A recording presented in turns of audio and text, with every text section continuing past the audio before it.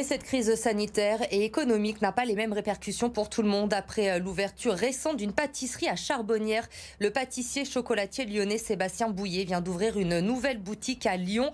Et malgré le confinement, les clients répondent présents. Corentin Marabeuf. Ouvrir une nouvelle boutique en plein confinement. Le défi peut paraître fou, mais le pari semble pour l'instant réussi au vu de la file de clients qui ne désemplit pas. Ça nous donne euh, au cœur, parce que je vous avoue que quand il y a eu le confinement et qu'il euh, y avait la boutique qui allait ouvrir, je me suis quand même posé pas mal de questions. Donc, euh, donc forcément, ça rassure, en espérant que ça dure comme ça. Mais en tout cas, c'est ouais, rassurant. Propriétaire de 11 boutiques à Lyon, Sébastien Bouillet a souffert du premier confinement, moins 40% de chiffre d'affaires par rapport à l'année 2019.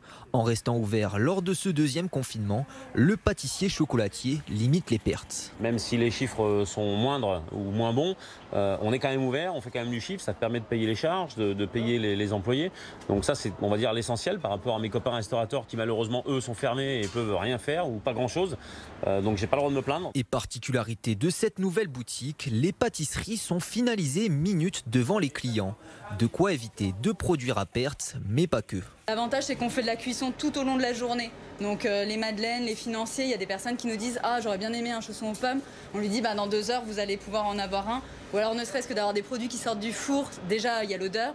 Euh, quand eux ils prennent leur paquet, bah, ils sont tout chauds et du coup ça crée encore plus l'envie. Malgré ce bon démarrage, Sébastien Bouillet craint une baisse d'affluence lors des fêtes de fin d'année, la période qui représente la majeure partie de son chiffre d'affaires annuel.